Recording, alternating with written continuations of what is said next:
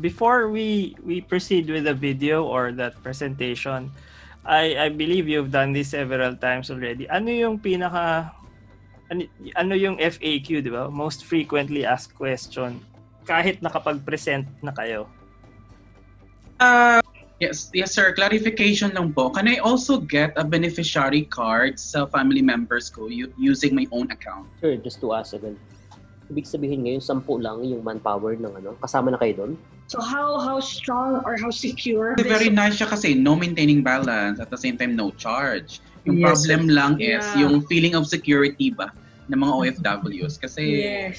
mobile mobile app doon tapos wala man lang matatanungan kung anong pwedeng gawin at least nandiyan si Sir Ramon at si Sir Eman para mag-answer. Hello sa mga kababayang OFWs here in Thailand and all over the world. For today's video, we're going to discuss everything about OF Bank or Overseas Filipino Bank. Together with the community leaders here in Thailand, I was invited by Sir Enrico Mariano, DTI Philippines PTIZ Bangkok representative, and he arranged a meeting with attorney Ramon Avengoza. He is the Land Bank Overseas Representative Officer. Land Bank is the mother bank of Overseas Filipino Bank. I know that some of you are familiar already with OF Bank pero marami pa kayong mga katanungan like magkano ba ang bayad pag mag-open ng account? Magkano ba ang maintaining balance? How long will it take? How secured are we? If you want to know the answers of those questions, please continue watching.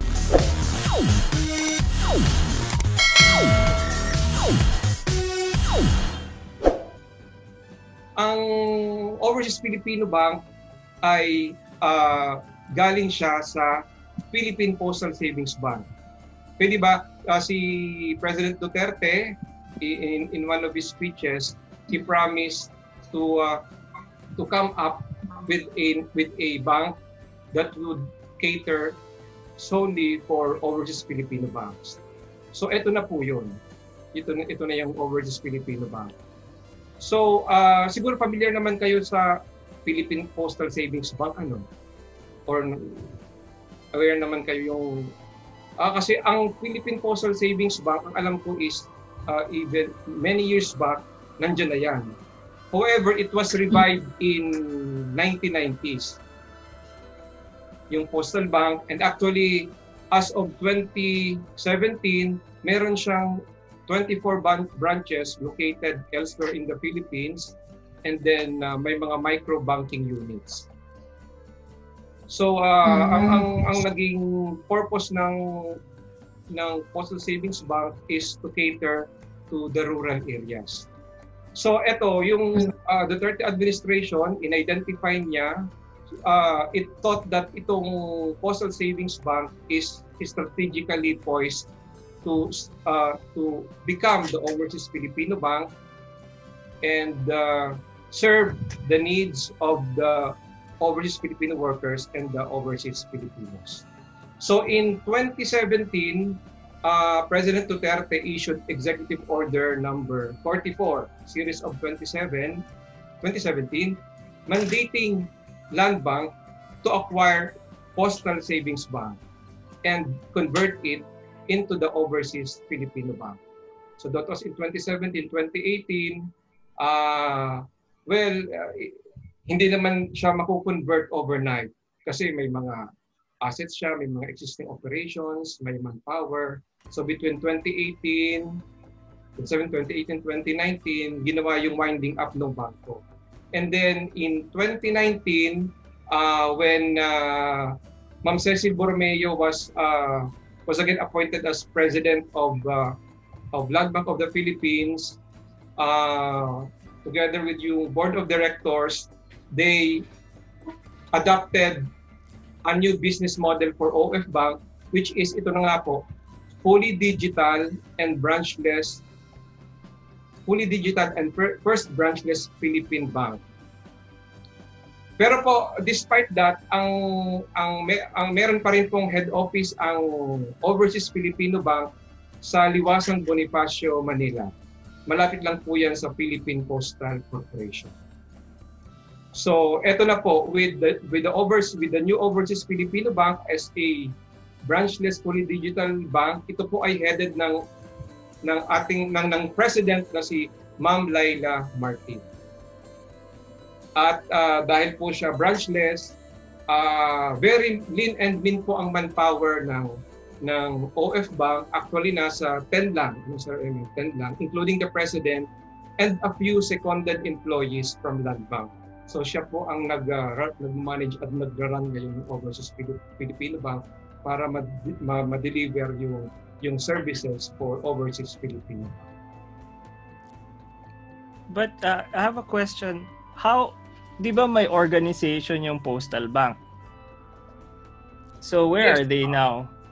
Uh, ano na po, uh, yung uh, dinispose na po yung assets at yung mga employees, binigyan sila ng separation pay. Yung ibang ano, yung actually may ni-retain na, na employees ng Postal Savings Bank at sila ngayon ang nasa Overseas Philippine Bank. Around 10. Sir, just to ask again. Ibig sabihin ngayon, sampu lang yung manpower ng ano? Kasama na kayo doon? Ay, hindi po. Sir Eman. Ako so, po bali ang, yeah, uh, to answer, sir, uh, yung question, um, based on the approved uh, organizational structure of uh, Overseas Filipino Bank, um, 10 manpower, organic uh, OF Bank personnel lang talaga ho ang may iwan. So uh, eventually ho, kami hong mga seconded kasi land bank pa din naman po talaga kami, babalik din kami sa land bank after a maximum of uh, three-year period. Yun lang ang allowed under the BSP regulation or we can be extended. But eventually, bibitaw ho talaga si land bank para maging stand-alone siya. Kumbaga may sampung organic personnel ho ang OF Bank. So we have the head of electronic business and then meron siyang dalawa hanggang tatlong tao. Then we have head of the technology, head of uh, administrative services. Uh, lahat ho ng critical banking functions uh, are being outsourced right now from the parent bank which is Land Bank. So kung ano ho yung sistema na ginagamit ni Land Bank, the IT infrastructure, lahat po siya naka-outsource kay parent bank. So we are technically running on the same uh, platform. So lahat po ng security controls in terms of the digital banking, online banking, lahat po yan supported po ni Land Bank. So wala ho masyadong intervention in terms of yung operations ni ni OF Bank, wala hong masyadong manual intervention sa loob niya kasi lahat po siya supported po ni ano ni Land Bank. And nitong June 29 ho, ni-relaunch yung Overseas Filipino Bank as uh, the as a digital only first branchless Philippine bank. Uh, wala po kaming physical office except for the digital hub uh, located at Liwasang Bonifacio, yun yung sa tabi ng post office building doon po sa may Jones Bridge. Uh, lahat ho, account opening will be uh, done or processed through the mobile banking application. Straight through po yung process na yon. So wala pong ano, wala pong uh, kailangan pang pumunta sa branch except for claiming the ATM card. But technically ho, meron lang po kayong account number. May account na bukas na po yun. Pwede na hong magtanggap ng remittance. And at the same time, you can already do fund transfers, bills payments for the accredited merchants of uh, Land Bank. Yun din po yung nakasama dun sa, yun din po yung uh, merchants ni OF Bank. So, may account number ho yun, may card number din ho. So ang OFWs ho natin, ang overseas Filipinos can already do fund transfer. Pwede na hong mag-remit, pwede na hong pasukan yung uh, account na yon, yung newly opened account. And then, pag nakauwi ho sila ng Pilipinas, then that's the time that they can claim their ATM card in any of the branches of Land Bank ang idea ho, uh, ang transactions will only be processed or facilitated through our ATMs and cash deposit machines. In the event po na hindi uh, kayang i-accommodate, say for example, yung withdrawal through the machine, which right now, isa ho ang landmark sa may pinakamataas ho na ATM withdrawal limit per day, which is 50,000. So granting po na more than 50,000 ang withdrawin, they can withdraw over the counter from any of the land bank branches without charge. In the same manner, uh, pag nag-deposit naman po through the cash deposit machine. So kung wala hong available na cash deposit machine, pwede din po sa over-the-counter through land bank branches without charge din po. Ang deposit po namin sa cash deposit machine, that is real time. So pagka-deposit po ng, ng kliyente sa CDM, wala po siyang parang lag time or processing time. So eventually, uh, immediately ho, pwede na po siyang ma-withdraw din. So available po siya because the machine has the capability to detect counterfeit bills. So real time ho ang processing. So ganun po yung uh, uh, essentially ganun po yung uh, product ni Overseas Filipino Bank. Wala po siyang maintaining balance, wala po siyang initial deposit, wala po siyang dormancy fee.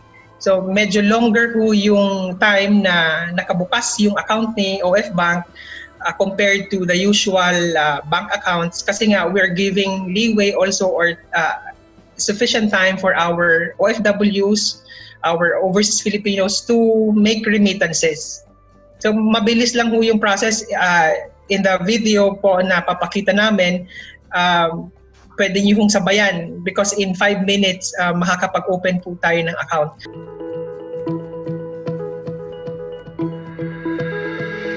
Dala ang IDs at picture mo. Pupunta ka sa bangko, pipila. Kapag turn mo na, susulat sa mahaba at iba't ibang klaseng application forms. Pipirma rin paulit-ulit. Pero paano kung wala ka sa Pilipinas? O kaya naman, available ka lang beyond banking hours. Pwede ka pa rin magbukas ng bank account.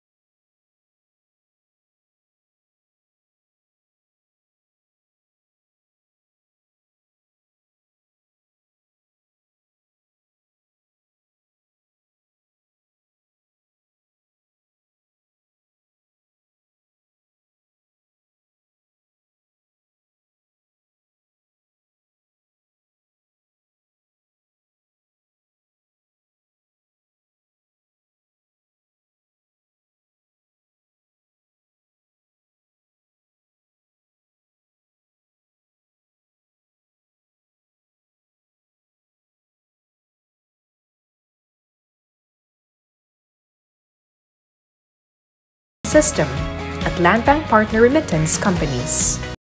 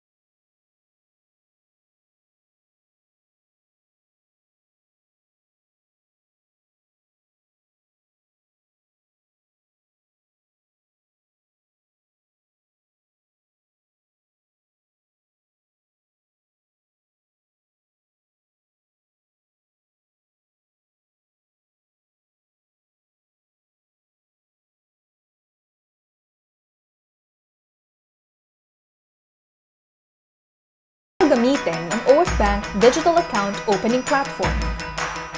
I-download ang mobile banking app ng OF Bank mula sa Apple App Store or Google Play Store. Buksan ang app at sundin ang mga sumusunod na steps. Para sa mga overseas Filipino or OF na nasa US, sagutin ang Foreign Account Tax Compliance Act o FATCA at pumili sa yes or no option at i-click ang confirm. Basahing mabuti ang terms and policies ng application.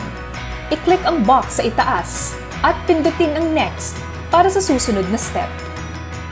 I-provide ang profile at contact information. Click Next.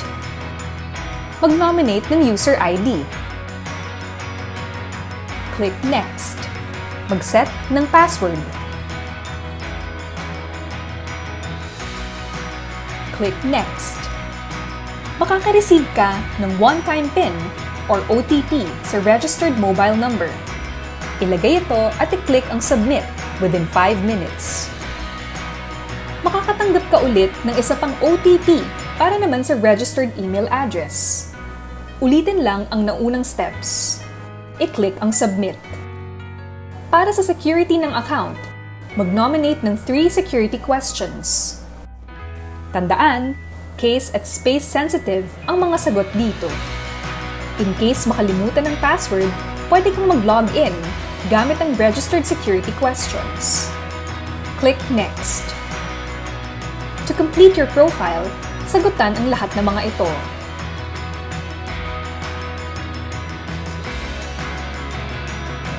Para sa mga US citizen, sagutin ang FATCA information for further verification. Click Next.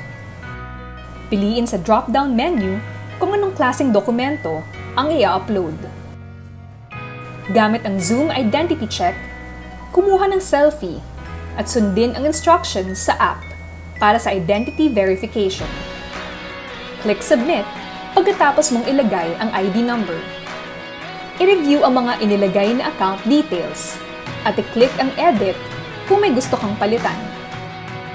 Click Confirm. Congrats! Kumpleto ng Oath Bank account application mo. Ma-activate within 24 hours ang bills payment, fund transfer, at Oath Bank Visa Debit account. Magagamit ang features ng account sa digital o electronic transactions. Para sa mga beneficiaries, pwede ring ma-activate ang financial online transaction features ng OF Bank Regular Debit Card pagka-claim ng card. Pumunta lang sa kahit saang Land Bank branch at dalhin ang ID na ginamit sa account opening. Sa OF Bank Digital Account Opening Platform, less hassle ang bank application. Kaya, apply na! Paano naman magde-deposit sa OF Bank account? Lagyan ng pondo ang OF Bank OFW account. With your cash, pumunta sa pinakamalapit na remittance company, Visa Direct Partner o bangko. Mag-cash in sa OF Bank OFW account. Kung meron ka namang iba pang bank account o e-wallet, gamitin ang Visa Direct o iba pang electronic banking channels para maglipat ng pera papunta sa OF Bank OFW account. Pwede ring pagmula ng pondo ng OF Bank OFW account ang payroll, lalo na sa mga seafarers. Para naman sa mga beneficiaries, magkakaroon ng pondo ang account kapag tumanggap ng fund transfer mula sa OF Bank OFW account o via InstaPay.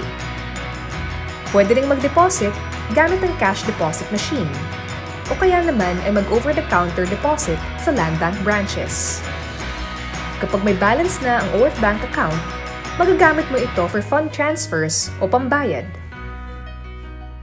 Paano mag-transfer ng pera? Step 1. Mag-log in gamit ang OF Bank user ID at password. Pwede rin gamitin ang Face ID or biometrics kung supported ito ng phone mo. Step 2. Sa OF Bank MBA homepage, select Fund Transfer at the bottom of the screen. Step 3. Piliin ulit ang fund transfer. Step 4. Piliin ang source account. Click Destination Account. For OF Bank and Land Bank accounts, ilagay lang ang mga sumusunod. Maaari kang gumamit ng QR code to avoid errors. Para sa other banks, click Select Bank at i-provide ang account details na pagdadalhan. Applicable rin ang QR code option for other banks. Pumili sa available transfer channel options. Click Transfer Now to proceed. Step 5. I-double check ang mga information na inilagay. Then click Confirm. Step 6.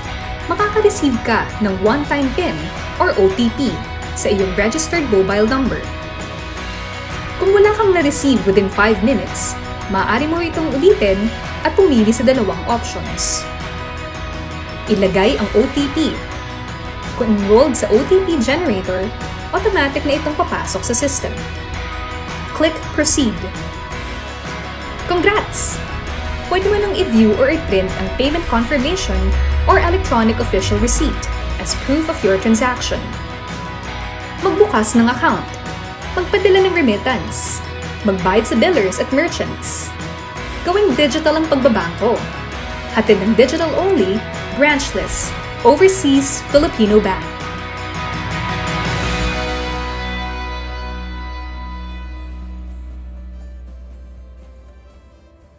Okay po. So this one is the ATM card of uh, card design of uh, OF Bank. Okay. Si, Ah, ano si si Vice Consul Chico kaso umalis na siya. eh. Siya yung son siya ni ni Miss Borromeo. Oh, talaga sir. Oh, yung president namin si Mrs. Borromeo. ano sa nasa ano siya sir? Nasa DFA siya? Hindi, naging Vice Consul namin dito si Chico. Yung son Ah. niya. Opo. Pero he just left. He's back in Manila. Ah, okay sir. So eto sir, ah, nakikita niyo po sir yung ano, yung card designs. Mhm. Oh, that's nice. Bakit may Ako. Dole card? and Owa. So, yung ano po, um, yung blue card is the OFW and OF card. Mhm. Pagka 18 years old and above po sila. Then the red card is the beneficiary card if the beneficiary naman is 18 years old and above. Tapos yung nakita niyo ko kanina sa video presentation, yung gray card, yung po yung pagka below 18 years old. Kasi may requirement po kasi si Visa na for our depositor or account holder to be issued with a Visa card, may minimum age requirement po which is 18.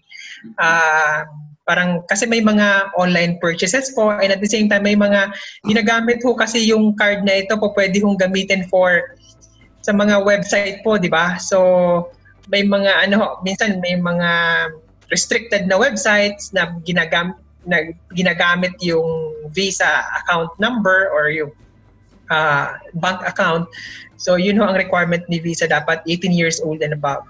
Then yung gold po, itong medyo yellow, itong gold card, ah eventually ho mag-offer ho si OF Bank ng ah, parang medyo high high interest ah, time deposit. Medyo mataas ho than the usual savings account para ito ho yung gagamitin niyang ah, account for ah, excess funds para hindi na kumbaga meron ho siyang excess fund ilagay niya muna ho dun sa kanyang digital Easy Savings Plus na nag-earn ho ng medyo mas mataas na rate. So ang minimum naman po dyan, ang proposal namin is something similar to that of Land Bank, yung Easy Savings Plus ni Land Bank na naka-passbook, minimum of 20,000 and then uh, may certain rate po yon interest rate, up to let's say 49,000. Then pagdating ng 50,000 up to another uh, amount na may bracket siya, tataas din yung in- corresponding interest rate. So ito ho, uh, dinedevelop pa ho namin yung system but eventually we will ano we will offer uh, a digital easy savings plus account. And then we are also in may, may, partnership din ho kami kay ano, uh, may kine-create ho kaming partnership with Dole and OWA for our ano po uh, for a loan program. Pero right now ho, hindi pa dahil nga nung nag-lockdown, hindi ho namin natuloy yung discussion uh, about the loan program for our OFWs. Na that will be in coordination with OWA. So, right now po, ito munang blue and then the red card. At saka yung mm. gray po. So in some areas, uh, meron pa po kaming uh, in-enhance dun sa pag-receive po ng one-time PIN or one uh, for uh, the mobile number and for the email address because this is required by BSP as part of the KYC and due diligence process kasi wala na hong face-to-face. Uh, wala naman po kasing uh, bangko sa ngayon na nagpa-process po ng uh, Philippine Bank na nagpa-process po ng online account opening na straight through. So from start ho hanggang finish na ma-issuehan po kayo ng account number, kailangan ho merong physical uh, kumbaga appearance sa branch. But in the case of OF Bank, kasi nga dedicate uh, kumbaga talagang uh, this is uh, designed itong digital onboarding system ni OF Bank is designed to uh, allow our kababayans to open an account in terms of uh, the mandate also of the BSP for financial financial inclusion. Uh, kaya ho meron tayong ganitong dinevelop na system for them. Uh, ang a common sir na question is uh, medyo meron silang apprehension when it comes to uh, yung pag-claim ng ATM card kasi medyo ano ho sila. But pag nalalaman ho nila na ang parent bank is si Land Bank, uh, madami naman ho ang nagsasabi uh, dun sa mga comments ho even ho sa Facebook, um, sa website ho ni OF Bank, uh, madami ho nagbibigay ng assurance na oh basta if it's la- with with Land Bank your money is with Overseas Filipino Bank safe ho yan even if you do not claim immediately your ATM cards. And ang maganda ho sir kasi nito uh, ang OFWs ho, nagre-remit ho siya parang para sa isang sa kamag-anak niya every time na kailangan. Or may mga instances din ho na makasave po yung pag-remit isang bagsakan ho. So ang pinaka-common ho na nagiging or na-encounter na problems ng ating mga OFWs, yung pera na supposed to be nakalaan for let's say education or para sa pamilya, minsan na mismanage napupunta ho sa kung saan. So hindi ho nagagamit sa tama. So ngayon po, pwede na ho tayong mag-remit or mag-transfer sa kamag-anak natin or sa beneficiaries natin through the mobile banking application kasi even the beneficiaries so can allow can uh, open an account with OF Bank. And then pwede hong i-remit ni OFW yung kanyang ipon doon mismo sa account niya ho sa OF Bank and as the need arises, sa kanya lang ho lilipat, li, ililipat doon sa beneficiaries niya. So kumbaga on a per need basis lang. So wala naman pong limit kahit yung mga anak niya ho pag openin niya kasi minimum of 7 years old can already have an, an account ho uh, as a beneficiary. Ganon din ho, wala din hong maintaining balance yun, wala din pong initial deposit. So, ang remittance niya lang, Sir Bale, isang bagsak doon sa account niya, account mismo ng OFWs. Then, from there, pwede niya na hong i-transfer. Wala hong charge yung bawat transfer niya ho, regardless kung ilang beses. Okay, here's a question from Che. Right. For I get actually four questions here, but uh, I I ran through already the video kasi nga yung nag-send sa akin na already registered. But uh, the first question muna po is yung um, the the application itself, itself or the I mean the technical itself, you know, the back end of this one. So how how strong or how secure the um, this one na I mean are, are we super protected with this one kasi I got lots of parang na, narinig na uh, most of the banks in the Philippines are not totally secure like they can somebody like, just hack over it and like that. So uh, how how secure are we if we can like we, we send more than 50,000 or, or we, we put 50,000 on it. I mean, the technical itself, you know, the back end of this one. So how, how strong or how secure the um, this one na I mean are, are we super protected with this one kasi I got lots of parang na, narinig na uh, most of the banks in the Philippines are not totally secure like they can uh, somebody like, like just hack over it and like that. So uh, how? I mean, I mean, I'm just, I'm just. Um, say this is uh, these are also the FAQ questions in my in my school, no? Um, yeah, that one first. Yeah, I understand po na syempre hard-earned money ho yan. So I understand yung concern. Um, I can say na very secure ho siya considering that we are running on the same platform po ni Land Bank and we are compliant ho with the BSP regulations in terms of itong mga two-factor authentication, yung meron ho tayong ginagawa dyan na penetration testing, etc. So that is regularly being monitored by the BSP. And within Land Bank ho, meron ho kaming mga testing na ginagawa, yung vulnerability testing. Uh, meron pong uh, regular testings na ginagawa to ensure that our IT infra, yung kung saan ho tumatakbo yung mga transactions ng clients natin are safe and secure. So, okay. wala ho silang dapat ipag-alala po doon. Okay. All right. Next question po is the transfers. So when we transfer from our bank from um, Thai baht to to um, land bank, uh, this one, OF Bank, uh, usually kasi what happened here is when we transfer to example BPI, for example 10,000 baht, pagdating sa BPI, it's still 10,000 pesos. It did not change. So dapat sana 10,000 baht times 1.5, yun ang mag-appear doon sa mag-appear doon sa BPI bank ko, something like that. But, change uh, rate. Yeah, dapat may change rate. So is it like that also? Actually, hindi ko pa siya na-try kasi baka oh, wala yung pera ko or nag-hesitate pa ako to baka yung 100 ko, yung 100, uh, mga ganun. One is to one lang, ganun. Yeah, so, uh, uh, is, yeah. Um, ang conversion ho naman kasi from the sending bank, So meron na ho silang ginagawang conversion dyan. So pag niremit niyo ho yan sa amin, wala na hong uh, charges na ho nag uh, binabawas. Attorney Mon, tama ba ako si yes, Land Bank dyan? Kasi kung ano po yung pinadala nyo, let's say yung beneficiary ko ho ay dapat makareceive or gusto ko matanggap in Philippine peso this much, i-convert na ho yan dun sa sending bank. Okay, good. Ako. Okay. So ang ano is from the point of uh, yes. from the remit, remitting bank ang nagdi-determine kasi ng exchange rate and yung charges is yung ano yung sending bank or sending remittance company. So mm. kapag uh, yung yung proceeds uh, ay transparent naman sila alam naman ng ano ng remitter na ito ito yung proceeds ng hinulog niya. And then pagdating sa land bank or OF bank yun na yung amount na yun ang i-credit niya. Okay Right, that answers my question. And one more thing po.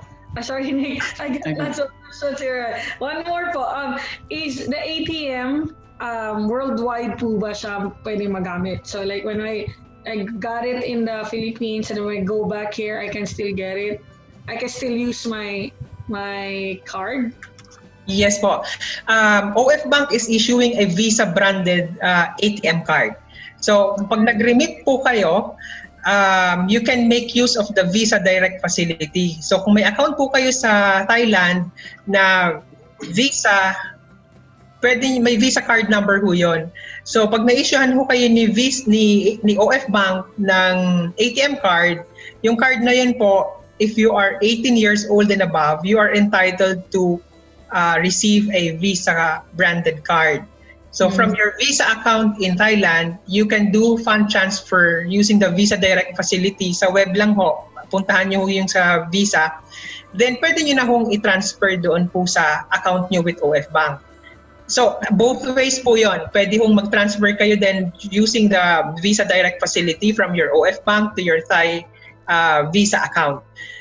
Uh, Kung kung gusto niyo naman pong gamitin yung regular remittance, you go to the to uh, your usual na bank and then pag nag-remit po kayo dun sa OF bank, ang gagamitin niyo lang po kasi we share the same bin or parang merong term po dyan sa remittance is we, we, we share the same bin with Land Bank.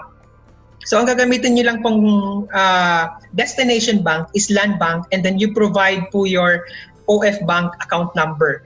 Ang OF Bank account number nagsa-start siya sa 6 600. 600, yung po yung start ng uh, OF Bank. Okay, last one. we have a, uh, sorry nga pala na. last one si Nick. Four questions. Last one po, uh, um, um, what if, kasi nandun sa ano, sinabi dito na hindi daw pwede mag, um, mag kumuha yung other person. It should be you personally who will get the card. But what if I will I will go home very very long and then I want my mom to get it? Can I just have the SPA or something? Give oh. Apo. Uh, talaga kung yung ATM card is personal, it should be claimed po by the depositor or by the account holder. Um, kung ang worry ho ay hindi makapag um, well, technically ho, ang hindi lang magagawa po talaga ni OFW o kaya ni OF ay yung mag-online purchase. Pero hmm. pwede na ho siyang mag-pay uh, ng bills, pwede ho siya mag-fund transfer because meron ho kaming kinocomply yung sa payment card industry, yung PCI DSS na tinatawag. That if if you will notice, yung ATM card niyo ho, it has a three-digit number at the back. Yun po yung ah. cardholder verification value na tinatawag, yung CVV, mm-hmm. na talaga hong very uh, personal ho yung number na yon because even without your PIN, you can do uh, online purchases Just mm-hmm. indicate the card number and the CVV, pwede na ho. So kahit to sinong makakuha ng ATM card nyo, pwede mo mag-online purchase using that card number and the CVV. Kaya right now po, talagang binibigay lang ho natin yung uh, ATM card dun sa depositor.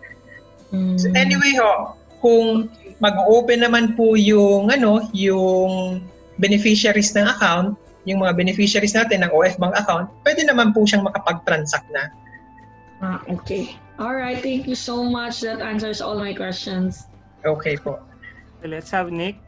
Yes, yes sir. Clarification lang po. Can I also get a beneficiary card sa family members ko using my own account? It's like there will be like two AM card for. Kasi what I did is that yung Bangkok Bank ko, iniwan ko sa mother ko. However, yung passbook at saka yung mobile application nandito sa akin. So I can still monitor kung magkano yung kinukuha niya, magkano yung remaining balance or something like that. Or kailangan nilang kumuha ng separate account talaga. Uh, pwede naman po sir na mag-open sila ng account. So may sarili silang account. Or pwede ko kayong mag-open uh, ng sarili mong account and then ta-transferan mo na lang po yung account na nasa mother mo ngayon. Ano po yung account niya, sir? Uh, Land Bank po ba yun or OF Bank na? Uh, actually, uh, what I mean is, um, Bangkok Bank po. Like, yung ATM, iniwan, yung ATM ko, iniwan ko sa Philippines kasi yeah. I, I don't want to go to Western Union pa para magpila-pila. So what I did, mobile banking na lang para anytime mag-withdraw sila, like may 200 lang na charge, So what I'm thinking, kung pwede po bang like I have my own ATM card na ng OF Bank, pero meron ding parang anong tawag doon, parang beneficiary card using the same account. Like there will be two cards for one account. Something like Ah, ang card po ni OF Bank, um, kumbaga nakaano siya sir on a per depositor or client. Mm-hmm. Although we are not also preventing naman na magkaroon kayo ng second or third account. Mm-hmm. Pero sa case niyo po sir, kasi kung mag-open ho kayo, nasa abroad kayo, hindi niya makiklaim yung card niyo. So ang magandang suggestion sir is you open your account and then yung mother niyo po mag-open din ng OF Bank beneficiary account. And then pwede niya hong i-claim yon in any uh, land bank na nearest po sa kanya. Okay. I, I thought all the while parang pwedeng pang credit card, like I am the main uh, owner ng card and then may extension ng yung anak or kapatid ko something like that. Oh, right now sir, wala pang ano ganong product si OF Bank. So we will have two separate accounts pala. Two separate okay. accounts po. All right, thank you. PowerPoint version niya. So para mas ano, talagang step by step 'yon. Meron mm. naman kaming materials for that. Okay. So if ever we can han- handle this one, how are we going to do this one? You guys will be coming, Sir Eman and Mr. Ramon, Attorney Ramon. Can you join us? Wala. On the webinar? For now, ito na muna. Yes, uh, for, for the webinars, opo. Definitely po. Sige po, magjo-join kami. Uh, thank you for Manila ano, time. Yeah, sure. Uh, actually, sir, even may, may, may ano yung sa Sydney, Australia, inabot kami ng ano eh gabi na din. So, ano, okay lang sir. Even if uh, beyond ano, uh, office hours. Okay. Yeah, mga 50 participants. Virtual. Oo. Tapos, uh, pwede rin siguro i-stream, ano? Pero, we'll figure it out. Yung tipong sabay, ano, Zoom meeting sabay stream. Pero, pero baka konti rin lang naman yung makuha doon kasi kung gusto talaga nung tao interesado siya, mag, magsusurf na lang siya independently using mga nakapost na sa YouTube and all that. But yung ganito is very important lalo na pag kasi pera yung pinag-uusapan. Mm. Kailangan nakikita yung yung uh, yes, oh, may tama, tao, sir. may tao dapat. Yeah. So we'll have to do this until the end of the year as frequent as we can. Sure, sir. Apo. This will really empower people lalo na ngayon yung mga ay kunyari nasira na yung SIM ko dun sa aking OTP. Actually, marami mm. akong ganong account eh. na, mm. na naka, nakakarga siya sa OTP. I mean, yung OTP niya naka-register lumang SIM card na hindi ko na mahanap. Mga ganon. Mm. So, buti naman, wala naman ang laman yung mga yon. Pero ganun, I've encountered that frequently. So, this is a very welcome development, di ba? For a lot of us you mm. can you can be alive and I mean be para bang virtually present in Manila like your money was there actually no. eh, which is for real diba your money is really there so I think uh, sinong una una natin dito para may mapag-usapan na tayo agad na next next uh, presentation probably uh, just last no I can lend my my Zoom my Zoom account. Uh, si one of our friends, si Dan, also has a, a Zoom. Mm-hmm. Siguro, ito naman yung first level, which is 100 participants yata. I think that's enough. That's more than enough kasi you only probably have mga 50 people na para manageable ang discussion. Mm. So, Para din ma-address sir yung ano yung mga questions saka yung may mga query sila we can mm-hmm. ano um kumbaga may time talaga to answer all their queries. Mm-hmm. Yes, parang ano direct from the source mismo. Yeah. Uh, parang Q&A night. Parang yung yes, iba diyan. With the, with the one of Oo, kasi, kasi very nice siya kasi no maintaining balance at the same time no charge. Yung yes. problem lang is yeah. yung feeling of security ba ng mga OFWs kasi yes. mobile mobile app doon tapos wala man lang matatanungan kung anong pwedeng gawin at least nandiyan si Sir Ramon at si Sir Eman para mag-answer. Oo. Sige, sige. So, let's have first volunteer on our next briefing. Sino dyan?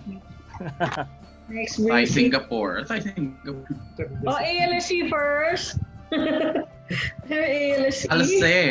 Also mm, pwede first, din, no? Oo. All all secretariat maybe, Ken, and the uh, class. And Can the new class. It? Ah, yung old class.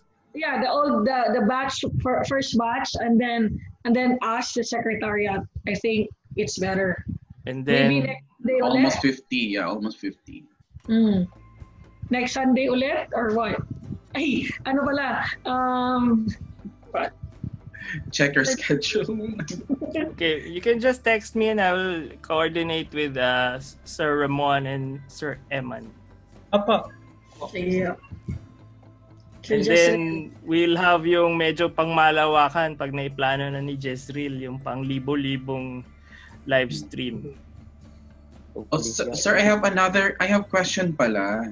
Yeah, oh, okay po. Kung, kung makakauwi ako ng Pinas, and then, uh, I, I will be the one to get my card, di ba? Apo. So, do I have to specify kung saang branch ko pwedeng kukunin? Or, kasi sa Iloilo ako, so saan pwedeng kukunin? Sa May, Maynila talaga ng branch? Uh, hindi, not necessarily, sir. In any of our branches. Land Bank, okay. Apo, Land Bank na pinakamalapit sa inyo. Just bring with you, sir, the ID that you used during account opening kung ano ho yung in-upload nyo. Kasi meron ho siyang, ah. ano, may meron yung application ho, papagpipicturean ho sa inyo yung ID and then magsi-selfie din ho kayo. Mm-hmm. So, kung ano ho yung in-upload nyo na ID at the time na inopen nyo yung account, yun din po yung dadalhin nyo sa sa branch. Sa branch. Tapos how long will it take? How long will it take para makuha um, agad yung card? Sir, depende ho kasi sa pila at sa volume din ho nung, or sa dami ho ng tao din sa branch. Ah, pero, But yung okay. mismong process, once na naando na ho kayo sa sa new accounts, pag, naku, pag na ina-assist na po kayo, uh, mga 10 to 15 minutes ho, sir. Mm, okay. So and then they will give us the personalized or hindi or temporary card muna.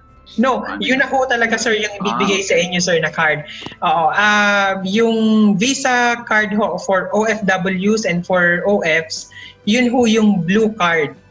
And then for the beneficiary, let me share with you sir. I, I think I have it here. Wait lang po ah. I-check ko yung card para din ma makita niyo sir. So Eman, you mean to say may may printer sa branch? May card yes, sir. printer. Yes. Ah, we can issue old style. Ah, hindi na, sir. hindi na po. We can issue, sir, uh, immediately. May instant card ho ang uh, ang mga branches. May may inventory po sila ng OF Bank uh, ATM cards. Nice. Wow, that's good. That's nice. Kasi baka temporary card and then kukunin na naman yung. Oo, sir. Kasi babalik na naman. That's true. Oh, that's good. Actually, I'm planning to open also accounts sa ibang bank. Pero since may OF bank na, so why not? Diba? Oh, hindi nyo na ho talaga, sir, kailangan na agad-agad pumunta sa branch para ma-open yung account. Mm-hmm. And yung mother, yung, yung mother bank is land bank. So whatever happens sa OF bank, andyan yung mother bank na aalalay. Correct, sir. Uh, land bank is uh, right now the fourth largest bank in the Philippines. Mm-hmm. Okay, that's good.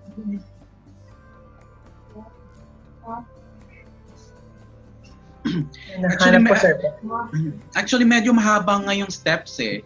Like kung mag-transfer ng money, like there there are six uh, six steps. However, compare dito sa banko sa sa Thailand, there are only two two steps lang. Type ng mga information and then uh, send ng OTP then login parang sa two or three steps lang. But then siguro that's for security. Ko, iniisip ko mag-pay Maya na hindi na ako magpe-pay Maya ngayon. Mm. Mm. And I also heard na yung, kasi yung SCB can also do international banking. All you have to do is register lang sa banko sa SCB mismo para i-open nila yung access. And then you can also use InstaPay. And then mm. yung 20 pesos charge lang actually. Pero ngayon, since na COVID, as far as I know, free of charge siya, InstaPay. Tapos transfer lang sa OF Bank. According to uh, until, uh, yes sir, uh, Land Bank is waiving the InstaPay and PesoNet charges until December of this year. Oh, that's nice. Apo. So mm. kung ano ho yung policy ni Land Bank when it comes to ano for, for uh, the waiver of charges, ganun din po yung ina-adapt nung kanyang subsidiary yung anak niya na si OF Bank. So pareho lang din po. Oh, that's a good news. Maganda ang ating diskusyon ngayong araw na ito. And uh, I think uh, manganganak siya ng more work for for us in government and in land bank. And uh, but uh, with the help of our partners here in Thailand, our friends, Uh, so, uh, I think magagawa natin, magagawa natin yung objective na, ano yun? Financial, hindi man literacy, di ba? Anong tawag doon? It's uh, parang financial financial inclusion, sir. Ayun, oo, financial Ato. inclusion. Exactly. Mm-hmm. So, uh, it's very nice. Kasi marami din, meron din tayong mga OFs na galing din sila sa mga, yung mga mas liblib na pook na kahit na taga Pilipinas ka na, nasa Philippines ka, hindi ka rin naman makapag-banking ng maayos. And I think ultimately yun yung ita-target natin as our social responsibility, di ba? Pero yes, sir. to get to that point, no, we have to create have have our more mainstream kababayan adopt it first, di ba? Para may magkikwento-kwento at may matatanungan at hindi na namin kayo guguluhin ng weekend. Para lang. no problem, sir. No problem. Okay. Uh, is are there any more questions or any more uh, last words? Thank you. For, thank you for having us. Yun. So I think uh, thanks for uh, for this, no? Uh, weekend, pinatrabaho din namin kayo. San, sanay po kami. sanay ho. Uh, actually, sir, yung uh, back office namin sa Liwasang Bonifacio, uh, 12 by 7 sila pumapasok just to ano to process kasi may may ano yan sir eh, meron pa rin ginagawang uh, checking sa likod. So once na pumasok ko, i-access ng tao namin and then just to check whether yung mga information na in-encode ba ng ating kababayan ay nag-match doon sa ID na uh, yung information niya sa ID. Kasi minsan mm. nagkakamali din ho sila yung first name, hindi ho nagtali ng first name na na-encode sa system as against dun sa first name nila sa ID. So we do uh, validation because that is a BSP requirement. Otherwise, sir, kami ang mafa-findings dyan ni BSP. Kaya we really have to validate. Okay. Uh, we have a vlogger here. Nick, uh, may gusto ka bang maisama sa recording habang nandito ka- tayo? Parang uh, for, for the use of the blog? yeah, I'm going to. I'm actually I'm I'm recording actually also while uh, in-off ko yung aking ano, video. Okay, so let's just have a group photo para may pang Facebook naman tayo. If it's not on Facebook, it did not happen. Okay? Uh, this is... I'm vlogging. Let's see. It's a print screen, right? I think uh, anyone else, uh, can you have a backup? Somebody can do a screenshot? I'll do it. You want to? Three. Okay, so one more, one more. I want more. okay, one, one, two, and three.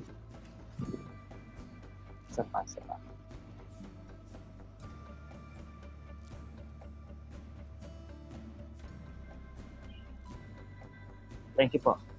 Thanks. Okay, uh, everyone have a good weekend. Thank you so much. Thank you, thank, you po. Rico, Dan, Jeric, and Jessica.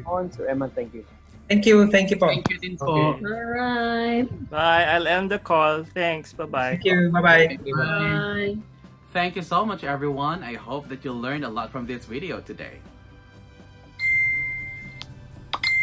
Magpapadala muna ako ng pera sa nanay ko through OF Bank.